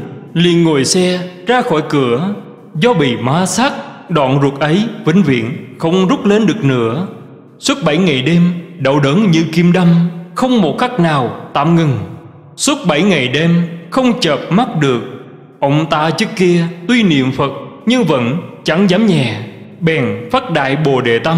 Nói bệnh này khổ cùng cực, Còn xin chịu nhiều hơn, Để nguyện cho tất cả mọi người trong thế gian Đừng mắc phải bệnh này. Rồi bèn chí thành niệm Phật, Không lâu sau ngủ thiếp đi Tính dậy bệnh đã lành. Từ đấy bệnh hết tận gốc. Ông ta gửi thư báo tin quan bảo bệnh ấy vốn do tốt nghiệp, Do các hạ dùng tâm đại bồ đề Để tiêu trừ tốt nghiệp đó, Nên bệnh liền dứt tận gốc. Chú thích thoát gian Tức là bệnh lòi dông Là chứng bệnh do các cơ Vòng quanh hậu môn bị suy yếu Khiến phần cuối của ruột già Nhất là đoạn ruột gọi là trực tràng Bị thòng xuống hậu môn Lòi ra ngoài. Nếu biểu huynh của ông biết nghĩa này Thì chẳng những bệnh chỉ được lành Mà bệnh sanh tử cũng được lành. Nếu không sẽ sống yên trong nhà hưởng phước Sống say, chết mộng Chẳng bằng ông ngồi tù lại được đại lợi ích. Cảnh không tự tánh, Tổn hại hay lợi ích do con người. Ông tin được lời tôi nói Thì lợi ích sẽ có thể tuyên nói được. Hòa phước trong thế gian Vừa dẫm lẫn nhau, Chỉ do con người có khéo dùng tâm hay không mà thôi. Ông do bị tù mà được nghe Phật Pháp đã chính là may mắn lớn lao Trong khi bất hành Hãy nên coi đấy là cơ hội Được hướng dẫn tốt lành, Thì tâm càng được thanh tịnh. Ông vẫn chưa thấu hiểu Những điều kinh kiếm căn đã dạy. Kinh dạy Thiện nam tử, thiện nữ nhân Thọ trì kinh này Đây chính là sự lành trong hiện tại. Bị người khác khinh rẻ Là vì tội nghiệp trong đời trước của người ấy Đáng lẽ phải đòi chống ác đạo. Bị người đời khinh rẻ Nghiệp chuyển theo thiện Cũng thuộc trong đời hiện tại Nên những tội nghiệp trong đời trước liền bị tiêu diệt. Sẽ đắc vô thượng, chánh đẳng, chánh giác. Đây là chuyện trong vị lai Nghĩa là do đây mà được. Đừng tưởng là ngay trong hiện tại Sẽ liền được như thế. Thiện nam tử thọ trì kinh này Đấy chính là điều lành trong đời này. Bị người khác khinh rẻ Là do nghiệp trong đời trước. Nhưng do bị người khác khinh rẻ Mà tiêu diệt được những ác nghiệp Trong địa ngục ngạ quỷ súc sanh. Lại còn sẽ đắc Phật quả Vô thượng, chánh đẳng, chánh giác. Ấy chính là dùng thiên nghiệp Để chuyển ác nghiệp Khiến cho quả báo trong đời sau Biến thành quả báo trong đời này. Báo nặng chuyển thành báo nhẹ. Trích dẫn Văn sau tam biên Lá thư số 573 Thư trả lời cư sĩ Trương Đạo Xanh Lá thư số 1 Vợ ông chẳng chịu ăn chay niệm Phật Hãy thứ hỏi bà ta Bà có muốn thường bị bọn người xứ Đánh chửi, làm nhục hay không? Ác bà ta sẽ chẳng nói là thường muốn. Ở vô tích bọn người xứ Giết huyện trưởng Vây thành ba ngày đồn bắt những kẻ chống đối Khiến cho cả nhà đều phải bỏ trốn. Bọn chúng bắt được món đồ gì tốt đẹp Liền tịch thâu Chẳng ai dám hó hé. Trong nhà ông Viên Lệ Đình Có rất nhiều người niệm Phật. Lính sứ chẳng tới nhà ấy. Có nhà bị chúng lùng sục mấy lượt Những món đồ tốt đẹp Đều bị cướp đi hết. Lúc Tô Châu thất thủ, Bọn lính sứ dặn dâm phụ nữ, Thảm, chẳng nỡ nghe. Một nữ đệ tử vì mẹ chết Đinh cụ tức quan tài, Còn đang quằn tại nhà, Chẳng nỡ bỏ trốn, Bèn đóng cửa niệm Phật.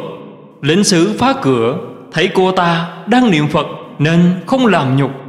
Chúng chỉ vào cái rưng Bắt đổ ngược hết ra, Nhưng chẳng lấy một món nào. Nếu cô ta không niệm Phật, Thì bà già sáu bảy chục tuổi Vẫn bị ô nhục. Huống hồ thiếu phụ ấy mới ba mươi mấy tuổi ư. Nơi cửa thành, Bọn chúng kiểm soát rất ngặt. Thoạt đầu do binh lính lục soát, Về sau mới sai phụ nữ lục soát. Nữ nhân cũng bị sờ nắng khắp mình. Những người cầm chuối niệm Phật Đa số không bị xét gắt gao như vậy. Cũng có người chẳng bị xét cho đi luôn. Niệm Phật chính là diệu pháp cứu nạn, cứu mạng trong đời loạn. Người xử tinh Phật đối với nam nữ cầm sâu chuỗi đều không ngược đại quá đáng. Sẽ khiến cho hết thảy mọi người đều niệm Phật.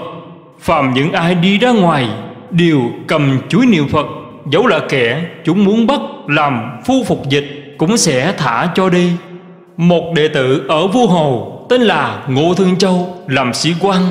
Năm dân quốc 24 1935 ông ta tham chiến tại Tuy viện, bị lính sứ bắt được lột quần áo khám xét. Thấy ông ta cổ đeo chuỗi niệm Phật, liền tỏ vẻ kính trọng. Không xét nữa, Dẫn đến gặp viên tư lệnh. Viên tư lệnh do thấy ông ta vốn làm giáo viên ở trường ít Nói ông cũng đến đây rồi.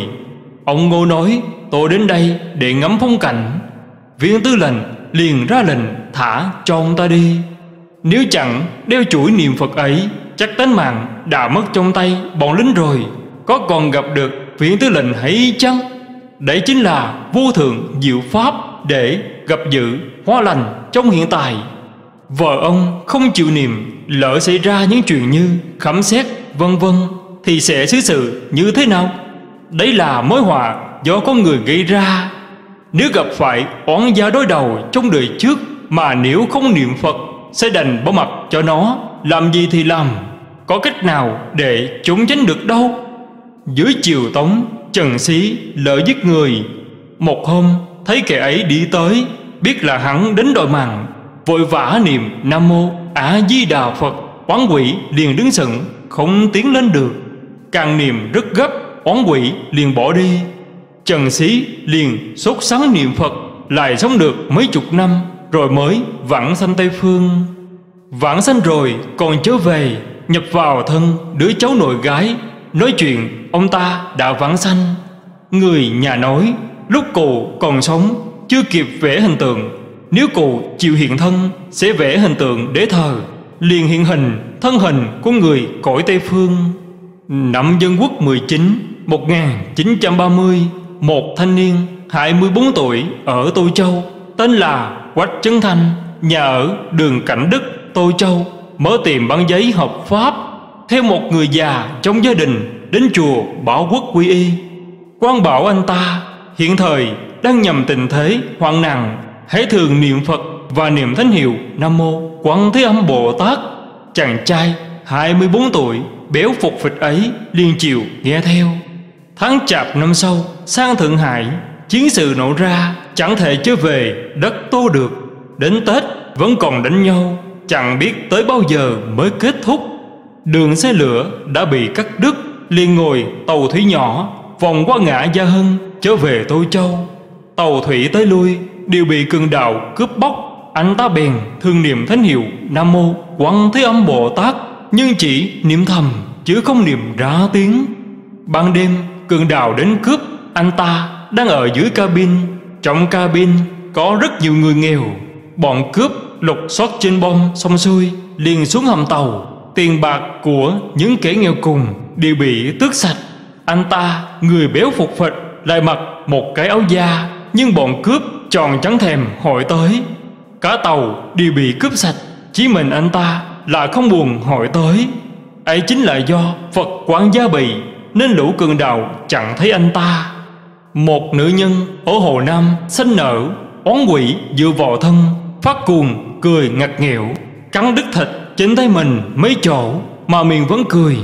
Cha mẹ chồng thấy vậy, không biết làm cách nào, bèn lớn tiếng niệm nam mô quán thế âm bồ tát. Cô ta liền như si ngốc, không cười nữa, sanh đứa con ra ấy là do chí thành niệm nam mô quan thế âm bồ tát oán quỷ bỏ đi. Trích dẫn con sao tam biên, lã thư số 594 thư trả lời cư sĩ tịnh thiện, lã thư số 4 hỏi, thế tục, coi chuyện niệm phật là để tiễn người chết, còn niệm quán âm nhằm giữ lại mạng sống? Vì thế, kẻ tu tịnh độ chưa tin rồng và người chưa già khi lâm chung, phần nhiều do luyến tiếc cõi đời liên niệm quán âm. Người trợ niệm phần nhiều ngã theo ý này hoặc thuận theo ý muốn của gia quyến cũng niệm quán âm để trợ niệm, chứ không niệm phật. Nếu lành bệnh thì cô nhiên không ấy nấy gì, chứ nếu không đã gây trở ngại cho sự linh cảm do xưng danh mà còn làm lỡ làng cơ duyên sanh tay. Con chẳng biết nếu gặp phải hàng cặn tánh ấy, phải nên dùng biện pháp ra sao thì mới viên thông có phải là trước hết niềm quan âm để giữ tính mạng cho họ, rồi đến khi họ đã chết, bèn chuyển sang niệm phật để tiện đi hay chăng? Hoặc là từ đầu đến cuối, chuyên niệm quan âm cũng có thể khiến cho người chưa hết tuổi thọ sẽ được lành, tuổi thọ đã hết sẽ sanh về tây phương ư. Đáp có người bị bệnh nặng, liền hãy nên có ý tưởng vạn sanh, nhất tâm niệm phật nếu tuổi thọ chưa hết Sẽ do niệm Phật mà được chống lành. A Di Đà Phật chính là vô lượng thọ, Nghĩa là tiêu tay kéo dài tuổi thọ. Còn như vì người khác chờ niệm Hả nên vị họ niệm quán âm, Lại còn cầu thọ cho người ấy. Cứ niệm Phật, chưa hết tuổi thọ Cũng có thể kéo dài mạng sống. Niệm quán âm thì không có tâm cầu được vãng sanh. Nếu tuổi thọ đã hết sẽ làm hóng truyền. Không phải là niệm Phật sẽ nhất định chết Niệm quan âm nhất định chẳng thể vãng sanh. Chỉ vì kẻ si không có tâm niệm, cầu được vãng sanh, Nên cũng chỉ tạo thành một thứ nghiệp cảm Gây hỏng chuyện mà thôi. Vô lượng quan là tiêu tai, Vô lượng thọ là duyên thọ, Tức kéo dài tuổi thọ. Niệm ả di đà Phật công sức đến cùng cực, còn được thành Phật, Há lê nào niệm Phật chẳng thể kéo dài tuổi thọ? Khiến cho chống chết ớt. Trong lời đáp, Bên cạnh hai chữ si nhân Sư gạch dưới ba vạch để nhắc nhở, Những người sẽ chết sau này, Chớ đừng tự lầm. Trích dẫn văn sao tam biên, Quyển 4 Đáp lời hỏi của ông chắc Chí Lập.